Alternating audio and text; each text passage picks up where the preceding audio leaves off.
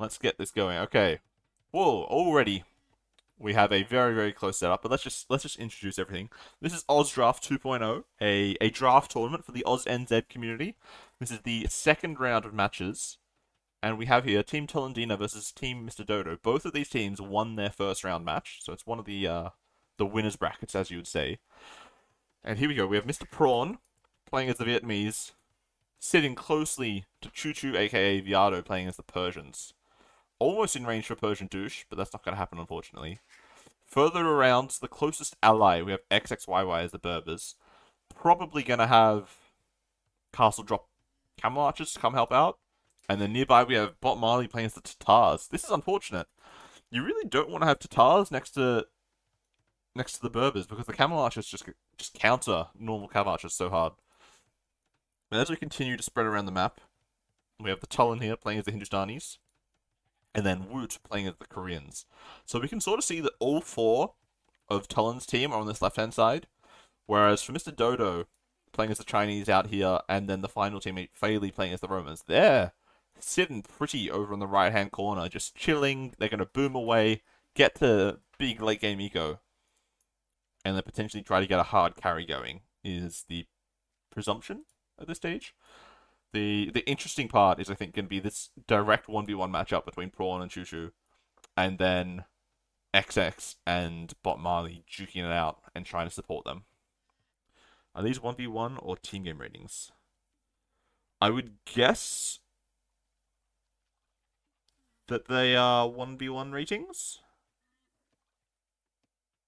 That does look correct. It looks like they are one v one ratings. Unfortunately, the, the chat's not going to be able to see the bot command, but that is what Spec Dashboard is letting us know. So, um, considering the early start, do we think that the Roman TC went up any faster? He's like maybe half a vill ahead of some of the other players, a little bit behind some of the others, and he did only have two villages building.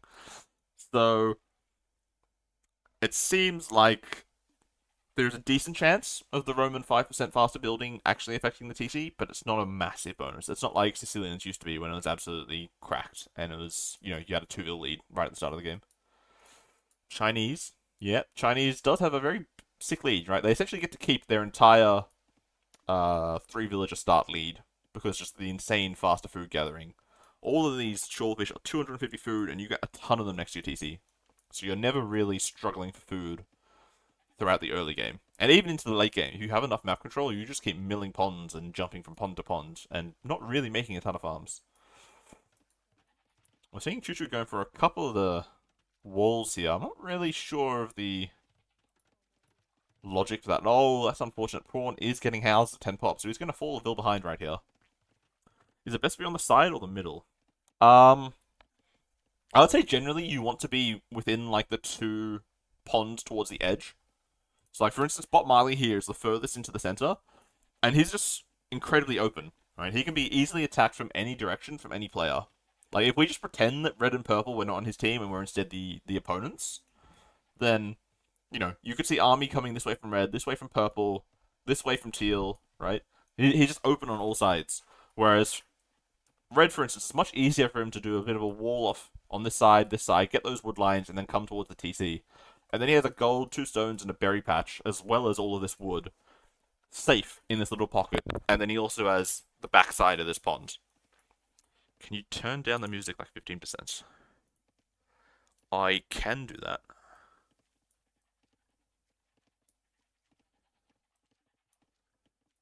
There we are. Uh, I guess we should take a look at the uh, point of views and see if we know where players are. So this is the team that does not have Vietnamese. So we know where blue is. Um, they potentially know that teal is there. But then they have no real idea, I would say, about these two players at this stage of the game. Whereas if we switch to the other team's point of view, what do they see? Well, they have Vietnamese, so they obviously know where everybody is. Boom, boom, boom, and yeah, and then obviously orange. So that's the uh, the big strength of having Vietnamese in your team. Their units are decent. They've got Rattan, they've got elephants. but really it's the, the TC location. It gives you full information, you know what the correct strategy is to go for, almost always. But we see here, we've got three players up to feudal age. Obviously one of them is Choo Choo. Um, he's not any, he's on stone, okay. A tower here to deny the fish sounds really great. And then potentially deleting these walls and getting around to this top pond would be would be pretty strong, denying all of that from Prawn. And Prawn is just the man's got no chill. He's just going up. Looks like he's going to do FC castle drop potentially with his safe stone.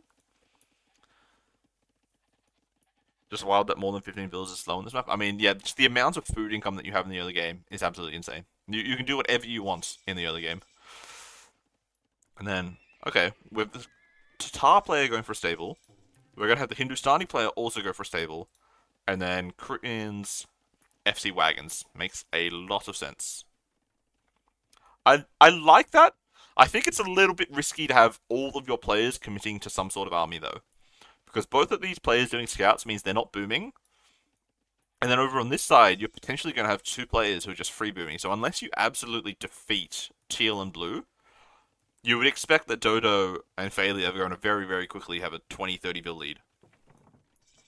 But over here, okay, we do see that tower. Uh, I would have preferred it to be a bit closer, to be honest. You sort of have to get fletching if you want to be able to deny all of this pond. Like, I probably would have built it touching this tree here. I guess maybe that's in range of the TT? Okay, maybe like one tile back from that. I would have moved at least one tile forwards to try to hit more of this pond. Okay, I guess he's going to commit to another tower. But even like this, you see, he can still sort of get that top, the top side of these fish. And while this is going on, he's not actually pressuring any of his other resources just yet. It's a very, very slow progressive tower push. Oh, but orange. Mr. Marley is sending vills forwards along with his tower. I think XX should be able to defend this, right? As soon as he has a scout or two, just send the vills. Does he just not see this? What's going on? Why is he not building a, uh... You... Oh, okay, he's going for his own tower. Good, good, good. That's what I want to see. Because you really can't afford, I think, to let up a tower in this very vulnerable position. It throws his wood line, it throws his main food income. Oh, Looks like that villager oh, close to dying there. And just diving under the TC. Stealing his sheeps. I like that. I like that very much. Yeah, I think at this point, Marley's in a decent position, especially with red scouts here to help out. Just tower the wood line. And then XX sort of has to... Oh, the bloody... Why does this... No, go away. I think he has to commit and just send the vills and fight this tower. I think if he lets this tower get built and then walled in... Yeah, there we are. Send the boys and girls, get in there get the fight going. Just having that many villagers involved in the fight should be a massive lead for him. There are two players with scouts though, but not a ton of vills for Mr. Marley. Unfortunately though, XX has already lost his first scout. I guess this is a decent idea. Pull it back towards the tower a little bit. Try to get the tower to fire some extra arrows in. But XX is actually... I think he waited a little bit too long. If he tried to fight this tower instantly before there was this many scouts, he would have had a much better chance at actually completely denying this. But look at his eco KD. 0-5 already. Marley has... Oh, he's just lost his first villager. It looks like the tower... It's going to go up, but it will get denied, I think. I think it'll just get bashed down. But XX has taken so much damage right there.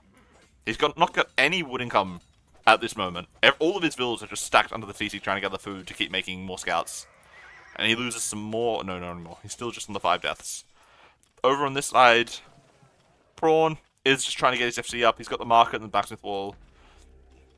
This tower from Viado. I think it's just overkill. He did not need to build both of these towers, I think. He has three towers to deny a single pond, when really one tower should have done the exact same thing.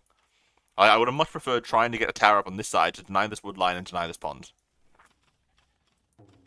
And like, especially seeing as blue is just going to be mining his own stone, he can always build a counter tower if he has to. But ideally, he just wants to get up to Castle Age, drop a castle. Probably just drop a castle in front of this relic, to be honest. Which will kill the TC. It is a Persian TC, though, so it will take a very long time to, uh, to fall down. But here we see, like, Dodo has just FC'd. He's going straight into 3 TCs, getting that boom rolling. And on the other side, Woot is on the way up to castle. He's on gold. He's on a little bit of stone, so he is going to get his castle drop going. I'm not sure what you're doing there, though, Bailey. Bailey made scouts? Ooh. I don't like that. I guess, yeah, he's just so far away on the map to be able to make his scouts. By the time he gets to your opponent, it's like any of the opponents, like even the closest ones, they have easily made two or three spears, or two or three scouts, or two or three anything. They're walled up. It's just almost impossible to get significant damage in when your units have to travel this far to get anywhere. I mean, I say that, but then there are some exposed villages just roaming all over the map for Marley. So, if he does group up two or three scouts and gank these villas, there could be a decent amount of damage. The question is, does Marley see the scouts as they run past? Oh, okay, over here we see some villas actually going down. Marley has actually lost quite a few villas. Oh, and the tower stayed up. Oh, no, XX. XX. XX is not in a great position. I mean, he does still have the trees under his TC, so he will be able to get another lumber camp at some point. But he's 3 to 8 eco KD. Really not looking that great right now. He's the same villagers as Prawn, who was in the castle age. There we do see the castle. Um, could he have gone one tile further forwards? I don't think so. Like I said, it's a little bit unfortunate this position, but it will clean up that first tower and then obviously destroy the TC as well. Give him access to this gold if he needs it. Ooh. The Trush is continuing. I... I think that he needed to commit to a defensive tower on his gold. Yeah, this doesn't seem ideal for, for Mr. Prawn right here. Especially since there's all these scouts here as well. Okay, now it's walling out this tower. Where are these villagers going? Okay, they're just going to walk around. Oh, imagine imagine trying to wall in these villages on the pond. But yeah, Prawn's gonna actually struggle a little bit for food right here. He can't. He, I guess he can take this gold underneath his castle soon, which is nice. Trying to rush up this tower. I don't know if this is a great idea. Uh, the Korean player does have a castle, does have wagons on production, and going for second TC. Oh, no, never mind. He does rush it up. It's up. Just repair that that gate a little bit, make sure the scouts don't get in, and then he's chilling. He is in a fine position. XX is not in a fine position. Marley's just chilling over there, chopping some wood. And Marley himself is also not really in the best position. I think he did a ton of damage, far too much damage to be honest, against XX. But his, uh, as I said, like because he's in the middle of the map, all of his resources are exposed. He has to be constantly on the lookout, trying to defend every side of his base to prevent taking, you know, unnecessary damage. Here we see, like, by the time the scouts have really gotten over here to deal significant damage, like, Woot's lost a couple of ills, sure, but he's in Castle Age now, he's making the wagons. He will be fine, I think. XX trying to get some return damage in. Losing a lot of HP and taking a lot of camel hits there to kill a vill or two. Tullen has lost some other vills somewhere else. I guess they were probably around this mill. There's just so much going on in this map. There's aggression in every corner almost, except for the right corner. Over here, we just have Mr. Dodo dropping a 4th TC. He's also built a stable and making a couple of camels. I wonder if he's going to be aggressive with his camels. I think I would probably... If I was him, I would just made like three or four camels if I had to, just to defend myself. And just say, yo, rest of the team, you're on your own. Figure your shit out, and then I will come bail you out in five or ten minutes time. Because his eco lead is just absolutely cracked. Like, he's 73 vills, the next highest is 44. like, it's, it is a significant lead. And like, yes, Chinese are a good civ, but I think you could have this lead with any civ that has a decent eco bonus. You know, there might be two or three vills, maybe five or six vills behind what Dodo has as Chinese. But I think that it, it, could be basically any civ that's just untouched and free booming in a corner like this is in a, or he's even going for a 50 It just has so many so many options for how they can can carry this game. Oh, it looks like there's been some uh, bashing of the unwalled in Viado Towers. Oh, we're going for another castle right here. I really don't like that castle position. What unit does green go into to dominate? Probably Cavalier and Camels. Would be my guess. You want cav units that you have mobility and you can get around and, and raid people's egos, deny the ponds.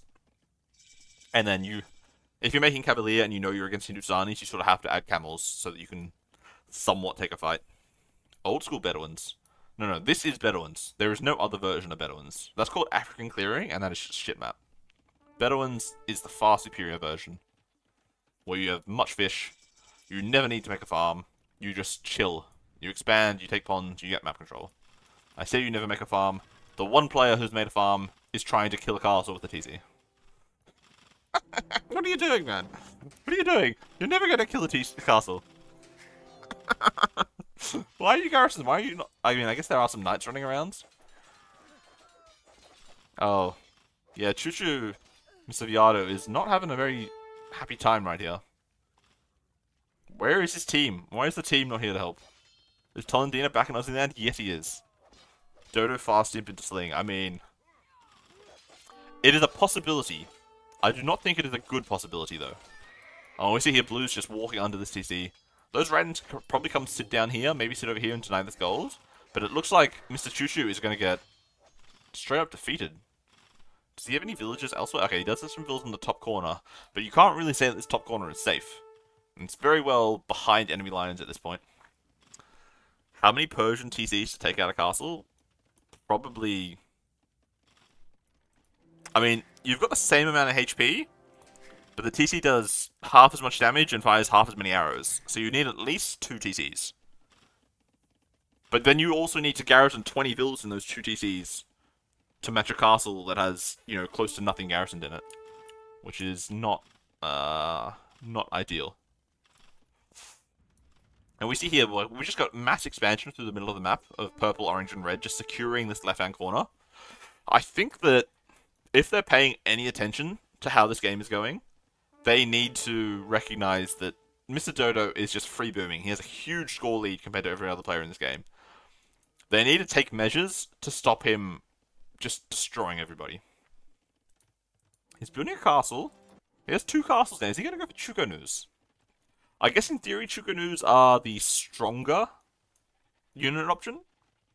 But they're slower. Oh yeah, he's even going for fletching. Okay, he's going for Chooks. It's definitely the it's the better unit comp, right? The Chukonus and then maybe some Helbs or BBT is like the ideal units for Chinese.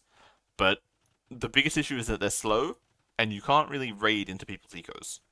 And I guess they might even struggle a little bit with Castle Age War Wagons, just because they're so tanky and so much pierce armor. Oh no. What are you doing, my man? You got knights on this side. You got one knight there that's dying. You got two Rattans over here killing him. Oh.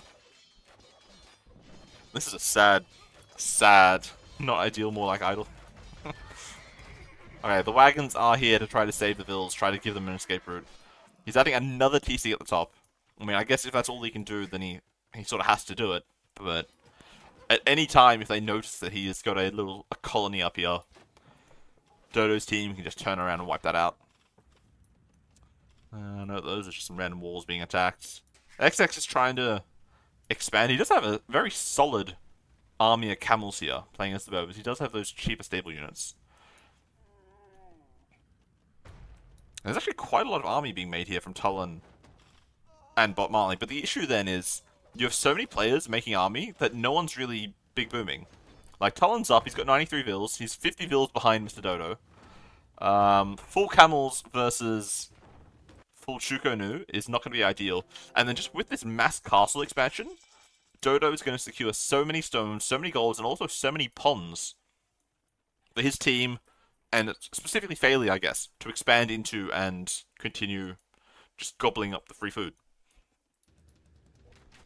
He's got a Siege Workshop. He's taking into Rams as well. Rams and Chukonus seem to be the play. And we're going to see here that Castle Age Wagons are probably decent. Talking from experience, Viado on Bedouins a mood. I mean, did those villagers die or did they escape? He has 26 vills. Most of them are not up here. So where are the rest of them? Oh, he is escaping. Okay, they're heading down this way. This is what I, I do like this. Okay, he's at least managed to get some of his eco out and he can start to boom back in at the bottom of the map, but it's not going to be a very uh, fast Rubium. Even if he is Persians and the TCs do work a bit faster. He's just going to have so little eco to actually spend on making more eco. Um, I don't particularly like the large amount of farms that are being built already. Like, you guys have so much map control in this corner of the map. Just, just expand. Take all the ponds. Save that wood for other things. It's also just faster gathering. I guess the the Chukonus firing extra arrows is decent against all the uh, the armor, but there are quite a lot of wagons here defending. And this is just stalling out uh, Dodo's push, which is buying time for Tullen to get Imp himself, get Heavy Camel on the way. But does he really want to fight Chukonus with Heavy Camels? I don't really think so. Um, yeah, he's sort of forced into fighting the Castle Age XX, the lowest score player on Mr. Dodo's team, instead of dealing with the big Dodo carry coming in here. Siege Rams and Chukonu, they are almost fully upgraded. They are elite. They've got rocketry. They're just waiting on the last armor upgrade. And then they will be fully upped elite Chukonus. He's getting masonry as well. Securities. His uh, stronger castles. Roman Vills gathering shorefish. Fastest food gatherer in the game, where is Sussul? Um, that's actually a good question. Are they faster than Japanese fish, though? Once they've got, uh, gill nets. I guess in this situation, in a, in a standard land map, then yes, they are definitely the fastest food gathering unit. Yeah, the wagons are still buying a little bit of time, but just can't deal with these uh, the siege rams right here. And while this is going on, Tullen is still trying to get a good engagement. He is not clicking Imp Camel just yet. He's just sticking with Heavy Camels for the time being. Trying to to trap in and kill as many of XX's army, but once again, we're just completely ignoring Dodo. Uh, Viado, aka Choo is on up to 4 TCs. XX is continuing to expand leftwards. I think that's the wrong way to go. I think he needs to evacuate, you know, 10 or 20 vills, and try to get some TCs out this way, closer, hide in the shadow of Daddy Dodo, and let him protect some amount of eco, so that he doesn't get completely defeated in this position. If Woot can get Onager, can he hold for ages? That is probably his best bet. The problem is going to be getting to Onager. Like, these siege rams are probably going to just walk through these castles pretty quickly, and once the castles are down, there's nothing really stopping the Chukonus just ro rolling in. Another forward castle coming in. He needs a few extra... He does need a few more rams. I do take that back. That castle survives. Does it? Yep, survives on 380 HP. This one's going to survive with significantly more than that. And the camels are starting to come in to help out.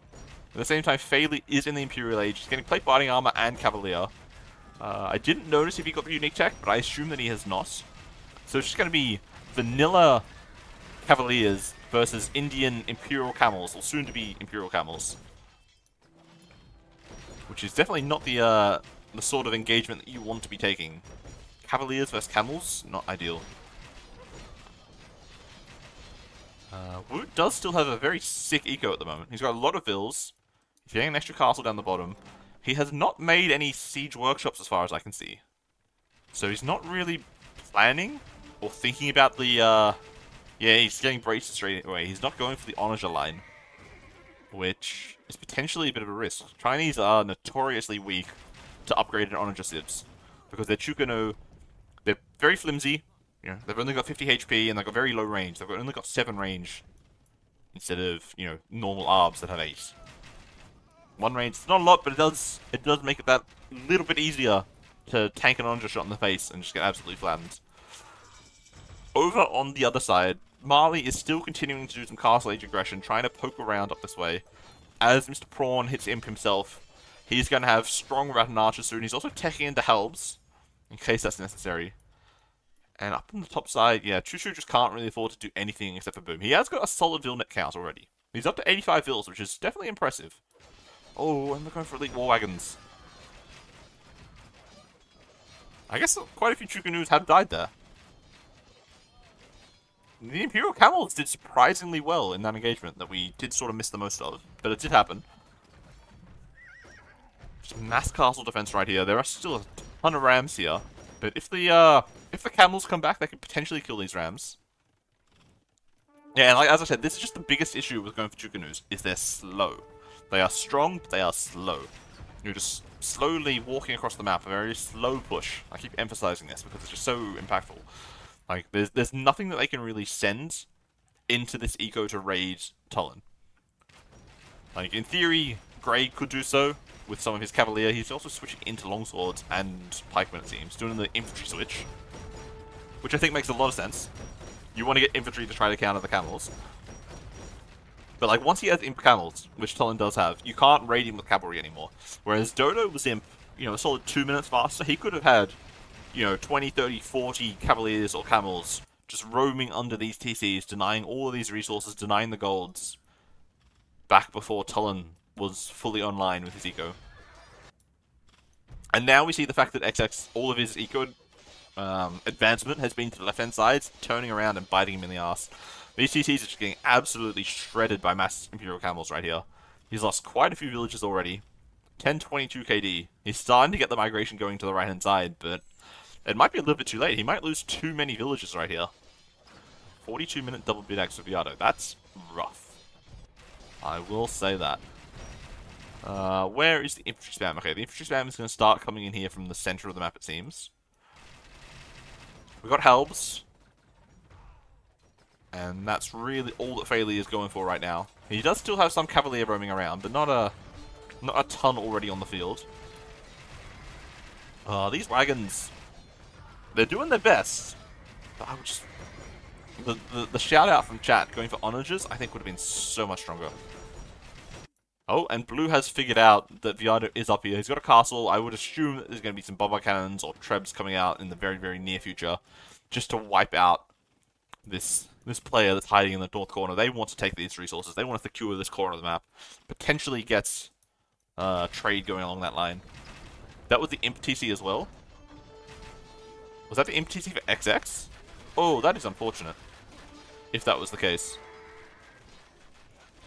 War wagons fire so slowly. Oh, yeah, they do. I mean, these Imperial Camels are... They're doing a pretty good job. I will be honest. Okay, we do see a Mangonel. It's not an Onager, but it's it's close. It's half of an Onager. Doing, you know, half of the damage. But there is the potential to be on the, the right train of thought to get to the correct units. Uh, what's next up?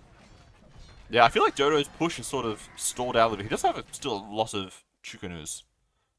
Most of them, though, are just walking across the map, right? There's just mass Chukonus heading to the front line from all the castles that are back in his base. Which just sort of adds to the slowness of his push. But while this is going on, Woot is is kind of dying. He's down to less than 80 vills now. He was on a solid 120 vills not that long ago. It's Jova, says Soxy. I mean, I do not uh, disagree with you right now. It certainly does look over now, especially with these Chukonu pushing this way. Oh, he's trying to switch to elite skirms. I mean, I don't hate the idea of doing elite skirms. It sort of double counters, right? It, it counters the Helbs, it counters the skirms. It doesn't really deal with the Rams, but if you can kill most of the other units, then somebody else can deal with the Rams. But Tullen just seems to be committing far too much of his time and army killing the player who's already dead. And I say already dead, but XX still has 100 vills somewhere. Mostly hiding in this top corner. okay. Not the best position to have the vills in, but as long as he's still alive, he is wasting Tullen's time, giving Dodo and Phaley, I should not forget Phaley, even more opportunities to keep pushing down in this southern region. Woot fought valiantly, but hard to hold just for the Boon Dodo. 100% agreed. Did I see the unique tech for Honor just coming in? Um, Probably not, because he hasn't had a castle for a while. Oh, and we do see the GG being called right now. Yeah, there's just far too much damage being done on this bottom side of the map. The win goes to the Zodo. Yeah, like as I said, like I just didn't like the fact that you had two players making scouts just to double XX. When you don't really know where two of the other players are. And if you don't know where they are, then they're probably in the corner that you haven't scouted and they're just booming. And we just we just skip to here.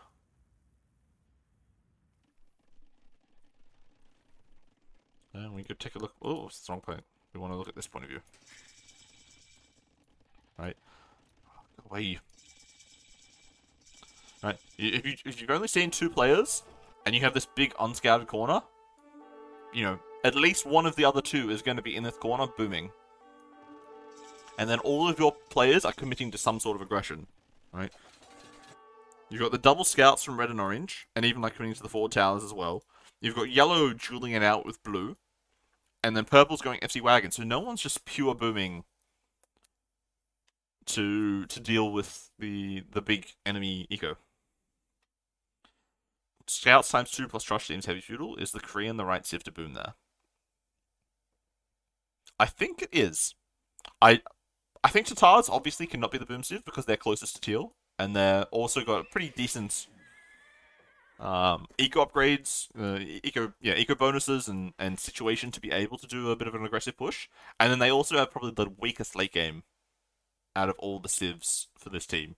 Like CA plus Hussars versus Chinese is like maybe okay, but his position in the middle of the map makes it very very difficult to boom. So one of red or purple needed to just be pure booming is my suggestion, and I think it probably should have been Hindustanis. Going for Imperial Camels versus the Chukonus is a slightly dicey proposition, but the mobility is massive, and just the strength of the war wagons in early Castle Age is something that you shouldn't discount. Getting, you know, 10 to 20 war wagons with Bodkin Arrow, you can just walk under TCs and kill whoever and whatever you want to. And then, like, their late game army, realistically, is going to be Helbs plus Onagers which is definitely strong, but it's again slow and immobile, which is great if you're only fighting the Chinese player in like a one-on-one, you know, just in the, here in the middle of the map. But as soon as you need to help any of your other teammates, you cannot do anything. Fully boom Koreans can also hold 1v2 versus Chinese and Romans. True, but the Roman player can also just send their cavalier somewhere else, right?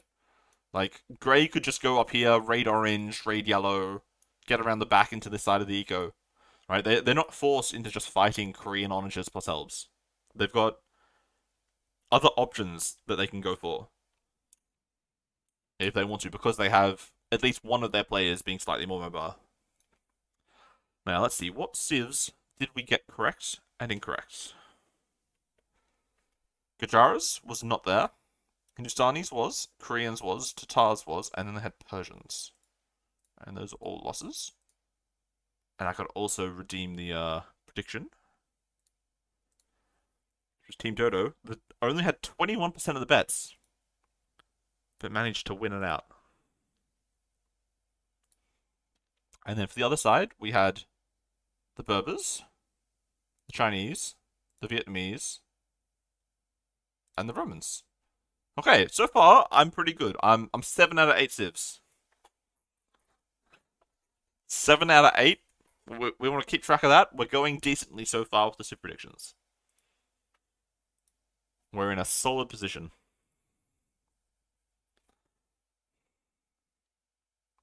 No need to pay out predictions. Let's just double or nothing on next game.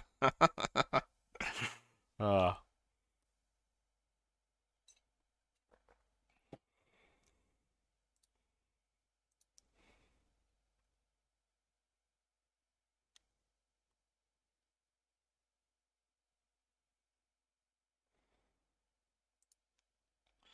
So this means that we're going to be going into Toronto map. We're going into arena, number twos. Do we want to change any of these civs? Burgundian and Slav pockets with Poles and Bengali seems decent to me. Teutons and Lithuanians. Teutons is going to be a flank. Lithuanian pocket, Goth pocket, and Malay. Yeah, I like those. If I'm being honest. Which then means, are they going to use Gurjaras on Arabia instead of Khmer? Or do they have a Gurjara pocket behind the Teutons and you just go in Castle Age Elephants and just completely defeat someone? That is the question.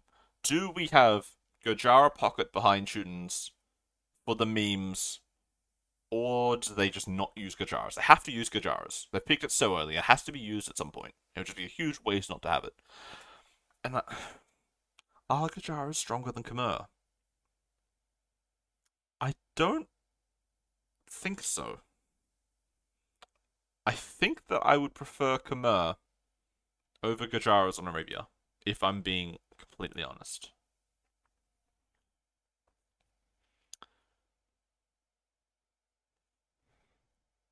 Do we need to pick our home map for this? Um,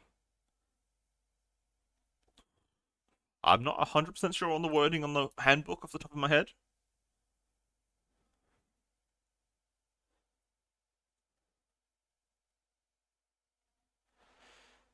Um, a quick skim didn't say anything about it. So, I guess potentially you could pick Arabia, but I'm not sure why you would do that. Because Arabia is their home map, and you want to lose 2 1 if you're going to lose, because remember, you don't want to be the first team that loses 2 0. So, if you think that Arena is like a almost a guaranteed win for yourself, then you should always be taking it, because you want to get that game if you're able to.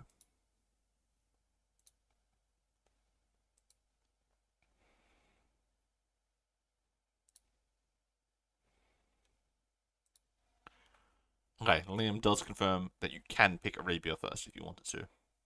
But I, I do see that their lobby there in already does have Arena picked, so we don't have to worry about that. Yeah, exactly. In the best of three in the Swiss system, it doesn't make sense because you, you want to get as many game wins as you can possibly get. And so picking their home map and then potentially losing 2-0 is just just a little bit of a throw, to be honest.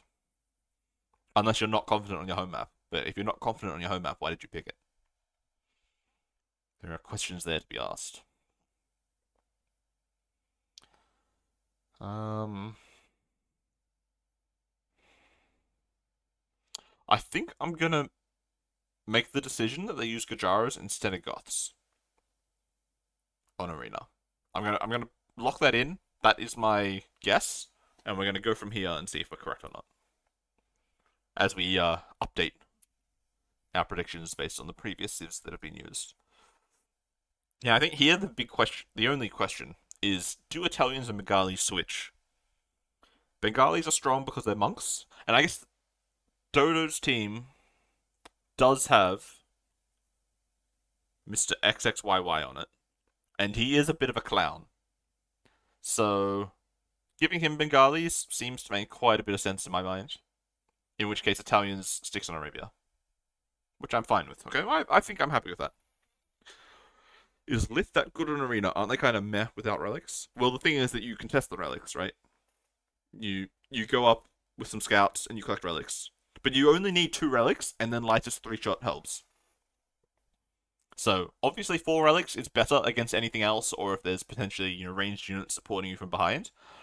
But as long as you have two relics, you will shred Helbs in like any sort of close to equally matched fights. And then, as Noah says, on 4v4, it's pretty easy to get at least three relics. Because there's eight relics on the map, you've essentially got one per player.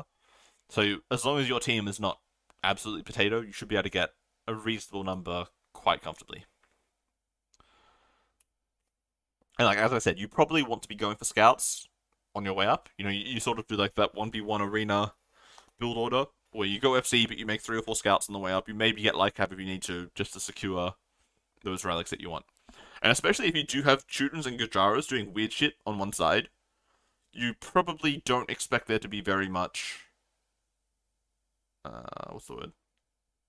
Interference from other civs contesting the relics, because the flank versus the Teutons is getting trushed, so they're not going to be doing anything just to contest the relics.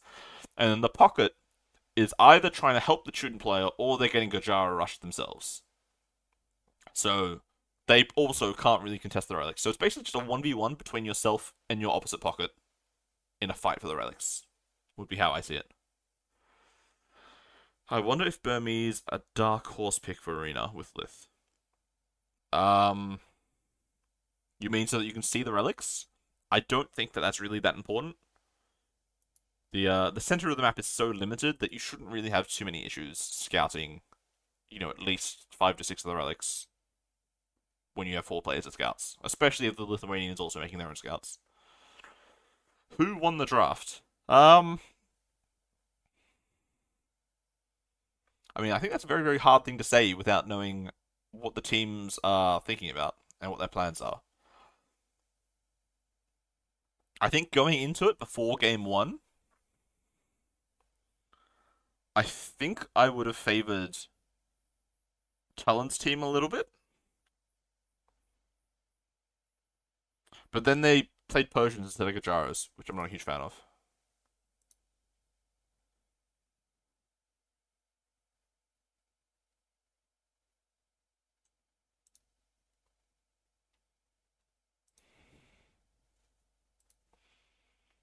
So forcing Gurjaras onto Arena, I don't like Gurjaras are decent for Arena. They can they can make some weird mimi shit happen, but I don't think they're that good. Didn't want Gurjara and Hindu. Yeah, that was the other. That was what I was discussing right at the start. Like, do you switch Hindustanis instead of Khmer so that you have a camel civ on each? But I, I don't think the Gurjara are better than Khmer on Arabia is the problem. I think the Khmer is Khmer is definitely better in mid feudal once you've got your farm eco rolling. They're definitely better in Castle Age if you're doing for mass knight spam. And then in early imp, there is I guess a question where heavy camels versus cavaliers, the Gurjara should be better. But then once you get to late imp, I think the Khmer just have better units again.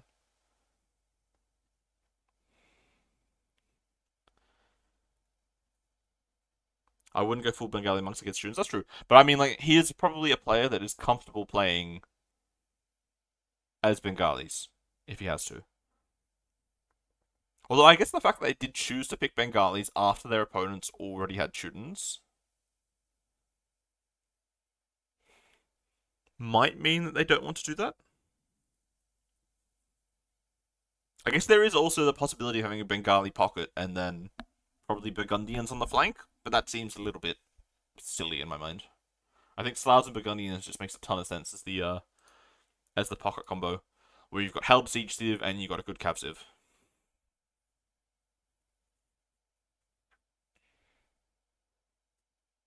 I mean, I guess as as I did say, like Bengalis and Italians could be a switcheroo, but I do think Italians are stronger for Arabia. And then they're probably similar strength for arena flanks. Poles Trush with Bengali boom behind. I mean, yeah, that's definitely a possibility. But then, like, which one of Slavs and Burgundians is on the flank? It's a bit, yeah. Neither of them really stands out to me as a as a strong dominant flank civ for arena specifically. Sarah Pocket for Mamelukes? Nah, I don't think so. I think if you were to do Saracen Pocket, you sort of have to do Heavy Camels to begin with, and then you switch into Mamelukes because they're so slow to get into and they're so expensive. And then, like, the fact that you don't really have a proper eco bonus, like, you can obviously do some market shenanigans to get your boom going, but once you've used the market a little bit already, you don't have any long term eco boosts, I should say. Well, the game is about to start, so I'm going to chuck up an ad while we get into it and then we will jump into the arena. Oh, whoops, I gotta leave the game first before I can join the new one. Let me go do that.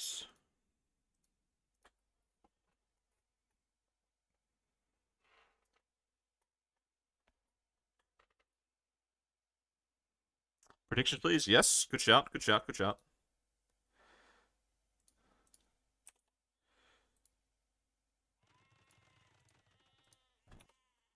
There we are. Predictions are up.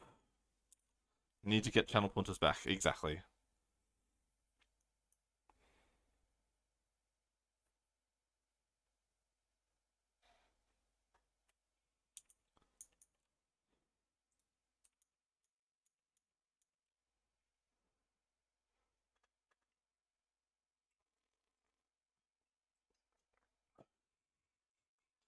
Since when do you not pick prawn?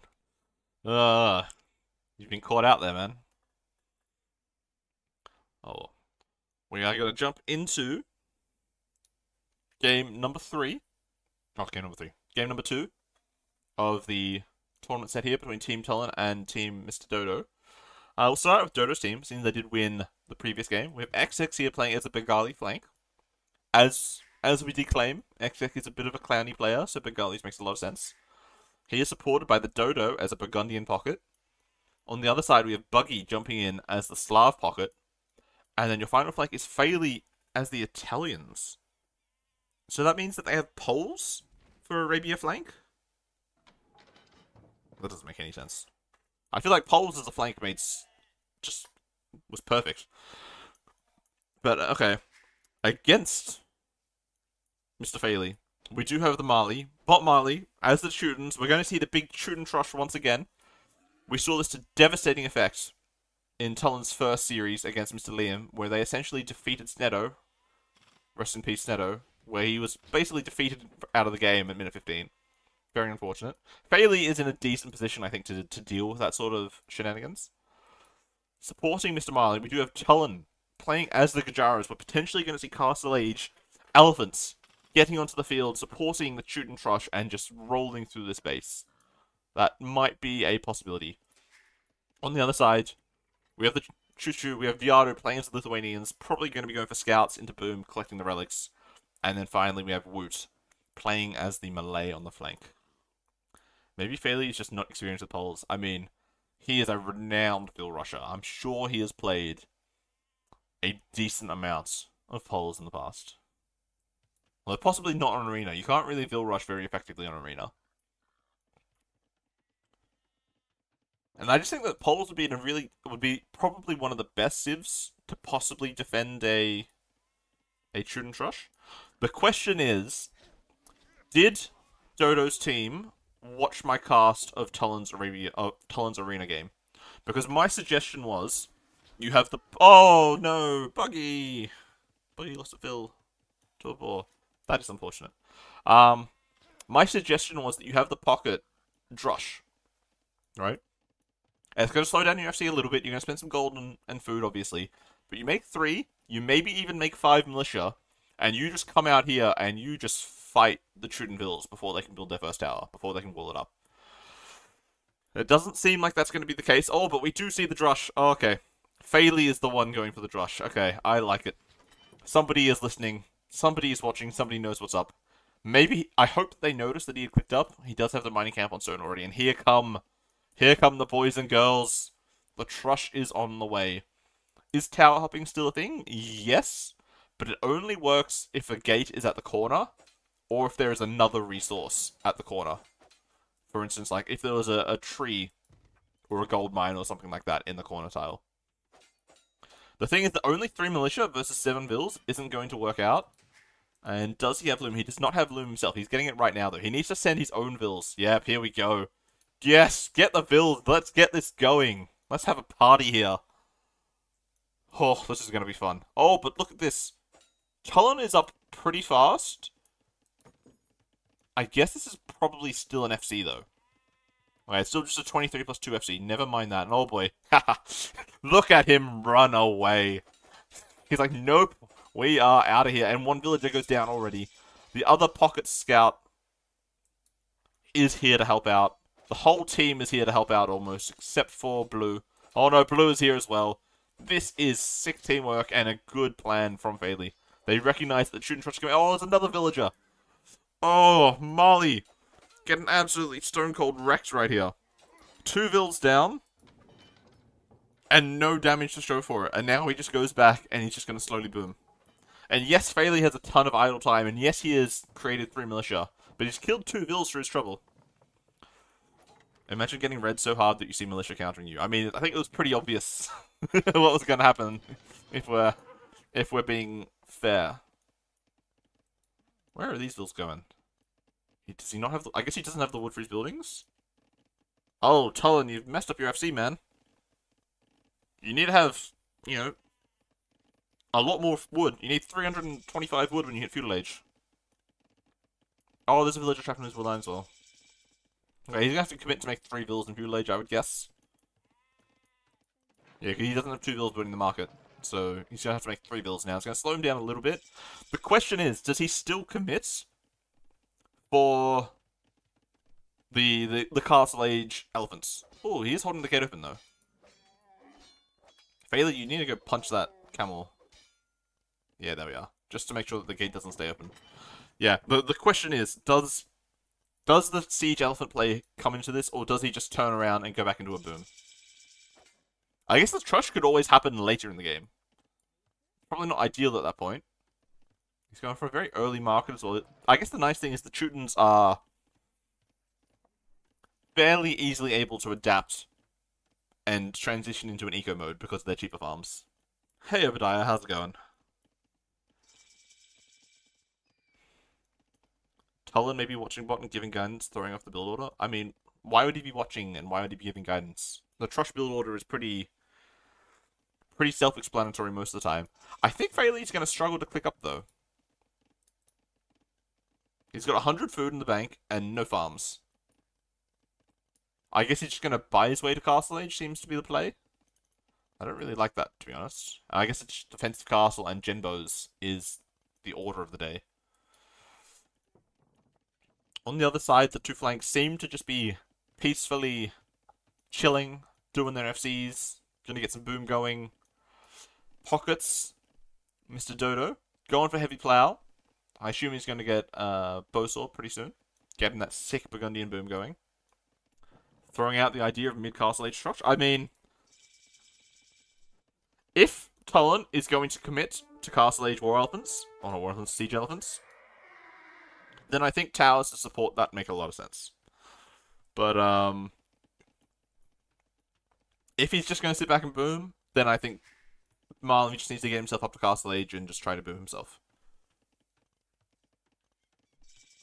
And I think, yeah, Marley's going to be up to castle age quite a lot faster than than uh, Mr. Faley here. He's got a decent amount of gold. He's gonna have to sell a lot of stone if he wants to buy his way up to castle. With the eco that he has right here. Yep, he's he's selling his soul trying to buy his way up to castle. I don't know why he didn't just make like five or six farms in Feudal Age. Or in Dark Age, sorry, I should say. Oh, okay, no, we do see a monk play coming in from XX. I don't know if I like it. Monk Siege, when you know your opponent has Teutons, is sus. And if you, you're against Lithuanians, you expect them to make scouts. So there's just two things that are going to potentially screw up. Is it fast imp with Fraley's doing a fast imp with no food. How is he going to fast imp? From blue. Resources?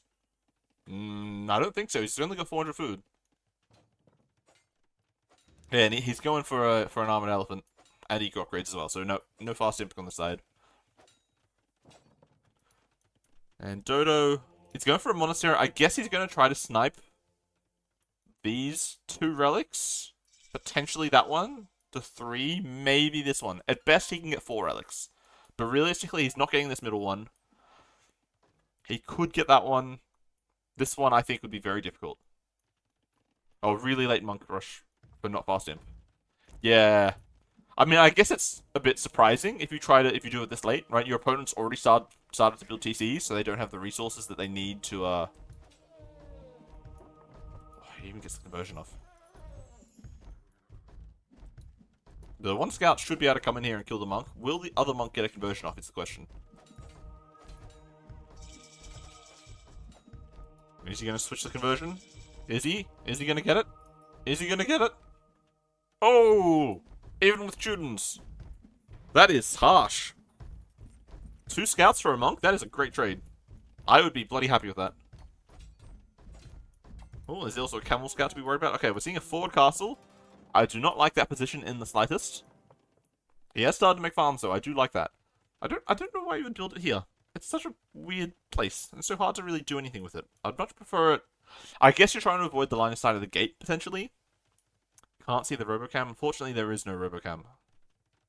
Maybe, maybe another time. But no promises. Okay, XX. Going for it again. Run away. Okay. Oh, he gets another conversion. He is a god with monks. Look at him go. He's converted three scouts and he's lost two monks. It's especially sus against Teutons and Lithuanians. Yeah, exactly. It, it makes no sense to me, because you would expect the Teutons... Oh, sorry, you'd expect the Lithuanians to make scouts to contest the relics. Oh. So far, just the one relic for Mr. Dodo. On the other side, we've got just the one relic. Butcher Shoe as well. Are the Siege Elephants going to be able to kill the Siege Workshop in time? No, they are not. The nice thing is that the monks can heal the siege elephants instead of needing to repair them. Yeah, you just you, convert the scouts, like, no worries. That's how it goes. I would like to see XX adding a Mangonel. I guess he's to do Redemption soon instead, so that he can convert the Mangos. I guess that works too. Or the scouts potentially dive in. I guess that's also an option. Random militia. Okay, you've petarded your way in, but you don't actually have any military units yet. Normally you want to make three or four units and then do the petard so that you can actually get instant value. But I guess potentially the one is going to be enough. Smosh Masterclass of Access. Yeah, just be incredibly lucky with your monk conversions. Just as, you know, Hera says, monks are completely overpowered and broken beyond belief. He's getting Sanctity now, getting that extra HP. He didn't even have Sanctity before when he was getting those conversions off. Like, whew, what a god. Attack rounds? Oh, all that good work wasted. All those good conversions just absolutely thrown away by one brilliant attack round there by Woot. That was really good job. Getting his own monks out for the defense. And he does have a solid vill lead, right? 44 vills to 50? Like, it's not crazy vill lead, but it's still a vill lead. The big issue is that he doesn't have access to stone, so he can never go for a defensive castle. Which is going to be a, a slight bit of a problem. Holding open the wall on this side with the Genbos. One conversion down. Monk just jumps into the TC. 4 TC booming, to have a Mangonel to defend as well soon. I think Marley is in a decent position, if I'm being honest. Because Faley's eco is just... Yeah, not very great. The, the monk push should just be hard stopped by atonement. I initially yes, if you recognize that they're monk rushing you right at the start. The problem is like at this stage that there's too many other things going on in the game. I guess it depends on if they have atonement. But if you have atonement and they don't, then I guess you're in a good spot. Oh, one go down. But I think he used two monk juices to get that. He did. Oh, one more attack round. Get the monk. Okay, one of the monks goes down. The allies are marching forwards once again. I still think I would like to see a, a Mangonel instead. Uh, let's go back. Let's just check out the relic. How are we? We've got three relics already for yellow. Two relics for green. Where is... Oh, yeah. there is a monk going out that way. So he's going to get up to... Get up to three himself. Where are the other relics on the map? There is another one. And this one over here. So yeah, yellow is comfortably going to have four relics. And then get up to five pretty soon. 74 vills. They're equal on vill counts as well. Obviously, the Burgundians do have their eco upgrades a little bit faster. So their eco is slightly ahead. Oh, conversions. Oh, two mangoes for one monk. For two monks. Does he get the third mango as well? Does he get it? Does he? Get it? Oh, he deletes it as well. Very smart. Very good job by Woot there. Oh, but the mango! Oh! Nice. That was well done. That was very well done. The elephants are in, but what are they in for? What are they going to do? They can't really kill Vills. Could XX not maybe be moving to yellow? Uh, possibly? Although yellow could just quite easily be making, you know, 5 or 6 Lycav and then just chill. We do see the Dodo is up to Imp first. With not quite the most Vills in the game but, you know, up there. He's actually second, I didn't even notice Tullen. Tullen is up first, and then Dodo, and then Mr. Bug. Yellow will be up shortly, as soon as he finishes a villager, probably, it looks like. So all four pockets on the way up to Imp. And then on this side, Marley is a solid almost 30 vills ahead of Faley. Faley's still on the 1TC. He is preparing for a fast imp is what it looks like. He has, what, 800 food? Yeah, 800 food, not a lot of gold though, so he's going to need to full sell something. Oh, that is a ballsy bloody castle. Can you attack rounds? Going for a tower. I mean, I would just ignore the Genbos. Yeah, just shoot the Vills. Just out-repair the Genbos and kill these Vills, deny this castle. And then you probably win this side. Like, this sort of a castle has to imply that he's doing a fast imp. Yep, now that the tower's up, these last Vills, just target the different ones. Oh, that is a... That is a bit of a throw, if I'm being honest. It's a, it's a throw. That is a throw from Faley. He could have just gone up to Imp, sold his stone, started trebbing, doing things like that. Oh boy. For this side though, XX 60 vills, 75 for Woot. Woot is ever so slightly ahead, but oh man, the monk shenaniganry continues once again. Oh, ah, where, where's the NBL clip? I convert one monk, you convert it back. I convert it one monk, you convert it back. That's exactly what we're seeing here, but the elephants are just marching forwards, and they're just going to start to kill TC soon. Unless the mangoes can hit them first. There's one monkey trying to heal. I think the TC will go down, but all the elephants are essentially dead. Like, they're, they're so low HP. As long as the mangoes can get, like, any sort of half-decent shot on them. Yeah. they just, they just fall over right there. The follow-up, though. Oh, we're going for knights. Hmm, I don't know how I feel about that. I don't know how I feel about the knights. I guess the knights are just going to come in here and completely clean up this push. But the Coustilliers are just going to absolutely shrek these knights, I think. I think you needed to go for Leitis if you really wanted to have a a solid chance against the superior Burgundian eco and Burgundian units, in my opinion. Also, by the way, Woot has had to buy a castle here, which is definitely going to strain his economy quite a bit. Although I do say that he is still ahead of XX. So essentially they're both out of this game, and we just have the two pockets duking out on the side. Over here, though, we have Helbs plus Condos. Oh, the castle went up. What? How did this castle go up? Um...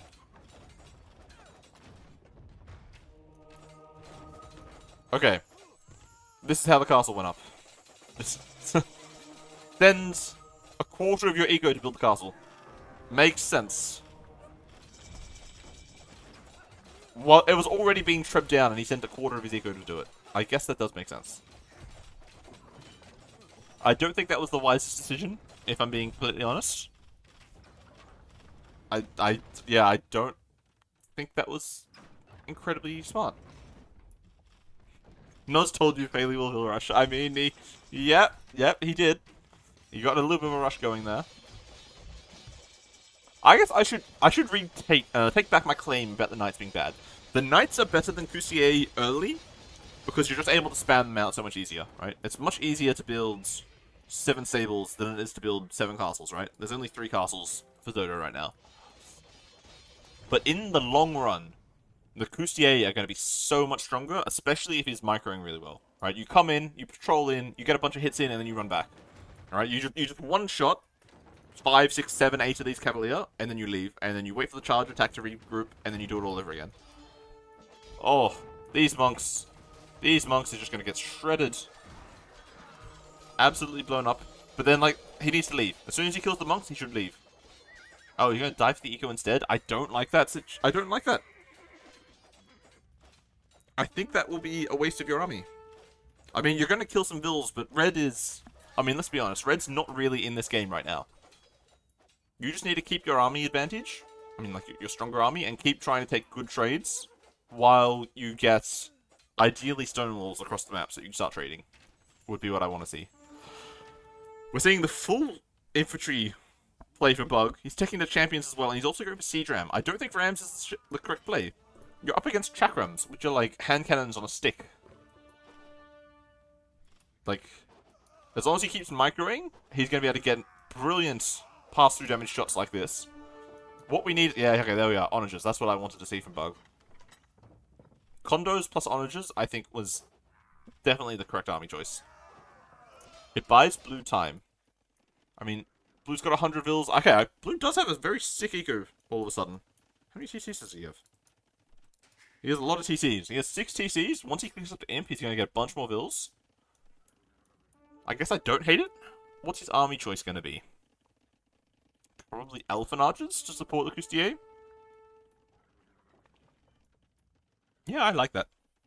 Gurjara struggle against Helbeso. Um, yes.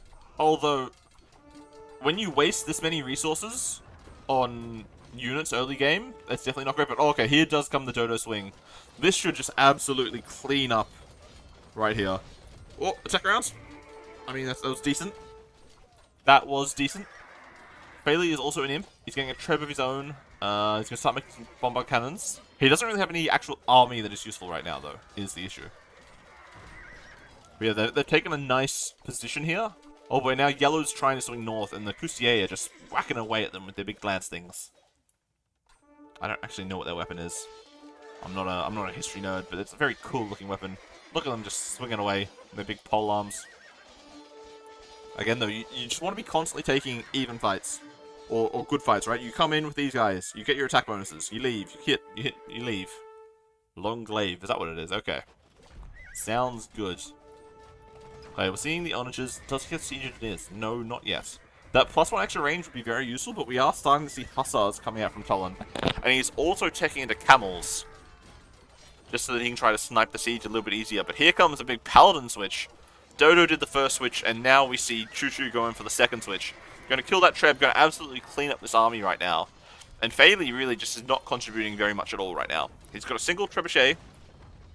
He had a single trebuchet, and he has three, three Genbos.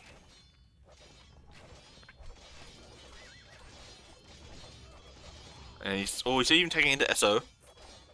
I think he definitely does need SO. The problem is they've just got such a massive army disadvantage right here. They're equal on vills, but they're 40, almost 50 army behind all over the map. Red's getting into Arbs. Blue is just going for Halbs. Halbs makes sense when you're against all these Paladins. But you gotta think about what's Red gonna make. And Red's gonna make Arbs, which is gonna help support this. Or, if he can clean up these four siege weapons, that would be pretty massive. Unfortunately, Tullen does lose that castle right there. Yeah, all the bombard cannons, all the trebs are going to die. And then he just, yeah, again, just keep hitting and running. Hitting and running, that's what you need to do. And while this is going on, you do still have big cav numbers floating around the other side of the map. And now we're starting to see the Chutin bombard cannons. Does he have the siege engineers? He does not yet have siege engineers. It is on the way right now, which is going to help counter the Slav SO. And something that I do have to bring up here is that Buggy is, I believe, the lowest rated player on Mr. Dodo's team. So it, it is a safe assumption that his SO micro and control is probably not what you would really want to have, unfortunately. You know, just, just putting that out there. So it is possible that they're going to have a very rough time here against the number one and number two player on Tullen's team.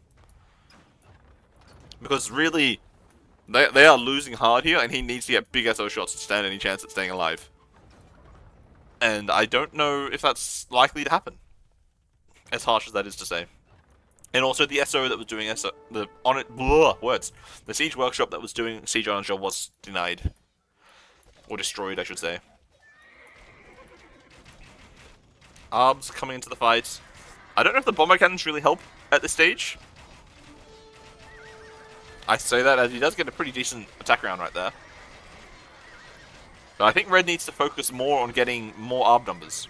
Right, I think he needs to get 40 or 50 ARBs, whether he's at a point where he's able to, you know, one-shot the Coustillier, get big damage in before he tries to worry about the siege weapons.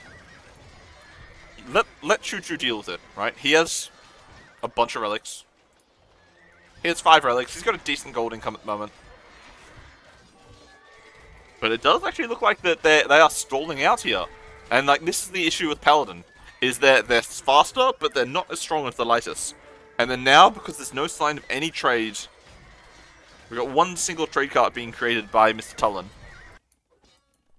It does look like this side is going to start being a loss for Tullen's team, but on the other side, they are just winning so hard that I don't think it really matters. Right, there's units in here.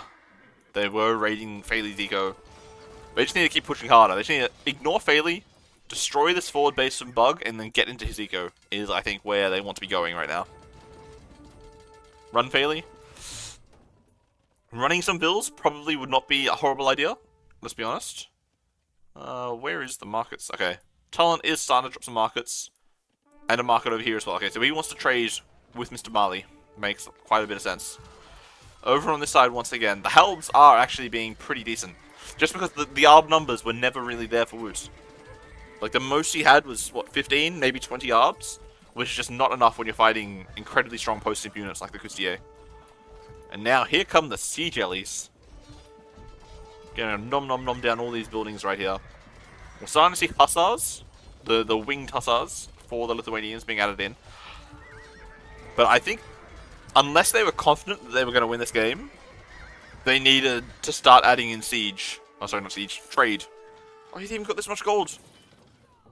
There is so much gold on this map still. Why does he have so much gold? He's got all of these golds and even these stones down here you can take and sell. That's insane. But yeah, what I should say is like they wanted to be stonewalling this space between Marley and the front of Shushu's base. They can safely be trading, safely farm out here, and not have to worry about these raids coming in. Because I think once Lithuanians has you know 40 or 50 trade cards and they're able to constantly make Leitis, they should just absolutely roll through whatever's happening here.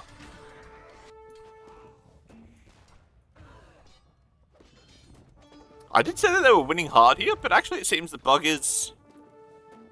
Bug is holding for the time being.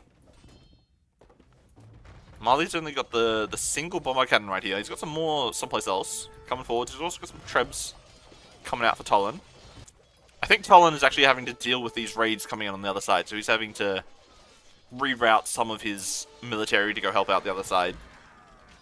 And yeah, the scores have just switched here. Stream stuttering, or is it just me? Um, on my end, I have no dropped frames. Oh, encoding overloaded. Consider turning down video settings. Hmm. I will look into that after this game is finished. Did Tullen get unique tech? Uh, I've got no idea. I would assume so, because the uh, the food discount is pretty strong but uh, I am not really in a position to check this. Oh my god, Woot is just absolutely gutted. Woot's down to 26 vills, and they are all in his base right now. If these vills aren't able to leg it and get out past these Coustillier here, he might get defeated. Maybe notifications on site. Oh, yep, we discussed that last time, didn't we? Um, turn off, off, off, off. There we go. The Vills are making a run for it. Is Woot going to survive? Is the question. Is he going to make it? He's down to 24 Vills. There's still a couple of them hiding down the bottom, but most of them are here trying to make a run for it. He's into the TC now. He is safe for the time being, but not really a part of this game. And it it looks like we might be seeing the first 2-0 of the tournament.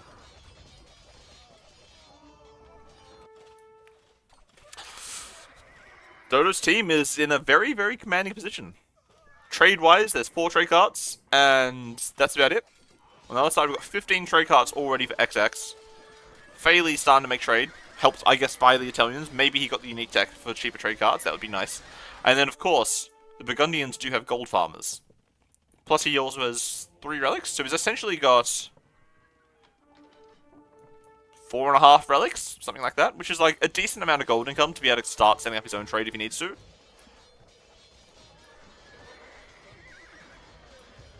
No, no, the lag does seem to be on my end, but hopefully this game ends soon. As harsh as that is to say. And then I will look at um, fixing that.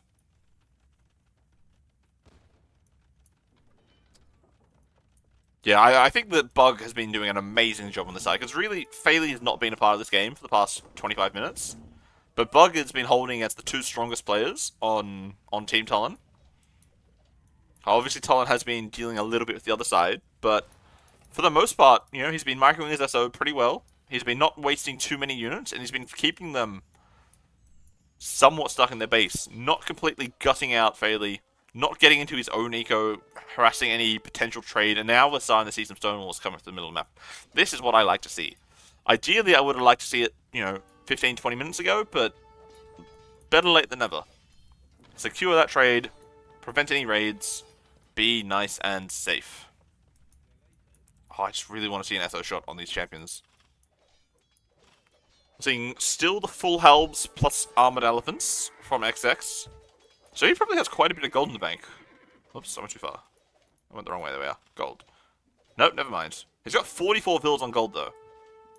So... I guess he did just finish a gold? Yeah, okay, now he's dropping down, but he does have a decent amount of gold in the bank, since he's not really making gold-heavy units. He's primarily making trash and rams, essentially. Oh, there's still two more vills down here. He's got a new TC here. Not exactly the best place to reboom, but it, uh It is a place, I guess. Could also be selling his gold. That is also a possibility. But he, he has been investing quite heavily in trade. Yeah, yeah, like the trade boom, essentially. And then either just full slinging it to other players who can use it better or switching it to Elephant Archers is definitely the play here. But I think it is almost a matter of time. I guess these three Hussars could potentially kill a lot of vills if Buggy's not paying attention. But Buggy, he's just poking back and forth, that's absolutely fine. And then Dodo is fighting both the pockets with support from XX. And then Woot is just... Woot is dead. And Faley is doing the team thing. He's setting up walls to the middle of the map. Setting up trade himself so that he can sling. And he's starting to make some genbos as well.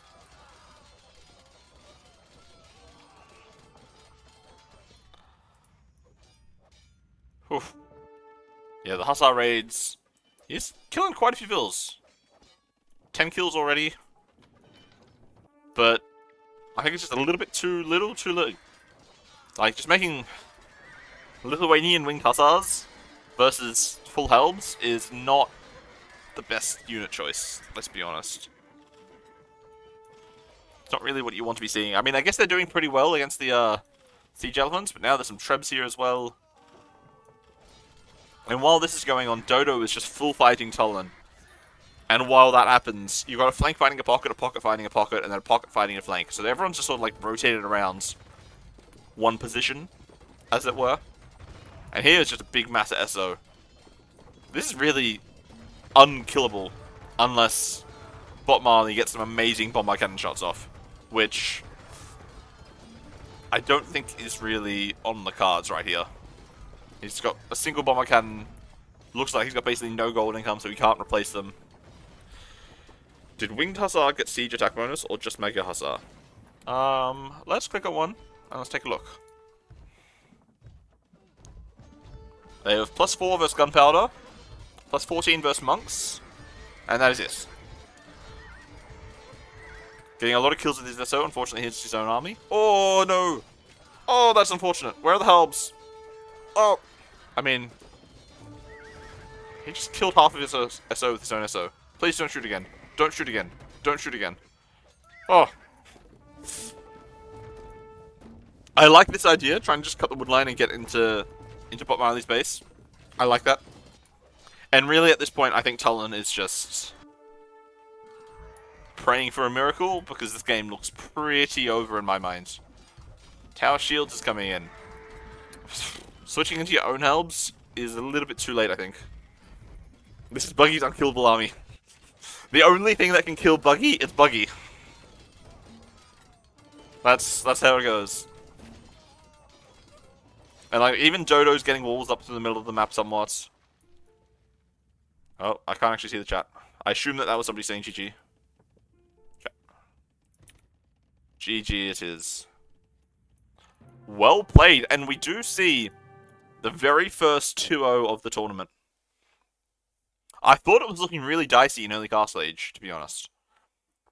I felt like the very, very slow SO transition from Buggy was going to give Tullen a chance to push back and and clean Faley's base and maybe get into Bug. But then the Dodo, like the timing from Dodo with his Coustillier switch, cleaning up that early army was just absolutely impeccable. Just perfectly timed, perfectly played. And then I feel like Choo Choo just didn't really use the timing advantage that Paladin provide. Because, uh, like as I was saying, like that is in my mind the biggest advantage to using Paladin over Leitis.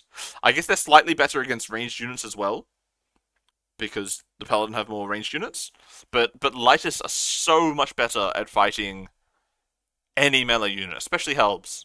Like Leitis with two relics, three shot Helbs, which is absolutely insane. They just absolutely rip through them.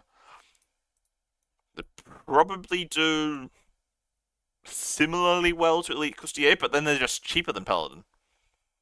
Which then, because they're cheaper and they cost less gold, it gives you it's much easier for you to transition into trade, and the the extra gold income that you get from the relics is enough to essentially buy those first 10 to 15 trade cards that you need to start to exponentially grow that gold income. Buggy played super solidly. Oh yeah, 100%.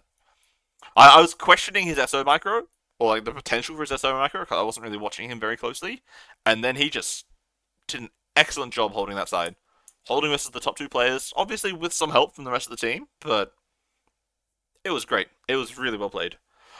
Let's go payouts. Oh, Dodo winning with only 13% of the bet. Oh, that is some. That is some payouts right there. The Dodo swings with the game changer. Oh, 100%. I, I think that, especially killing the very first army that Tullen had, was what bought the rest of the team the time to get into what they needed.